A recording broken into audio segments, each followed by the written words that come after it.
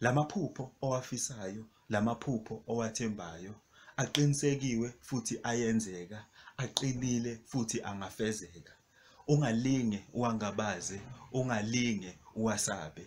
Qina kuwo zethembe ngawo bese uyawangena uwangenelele kuze kufike la ephumelela khona.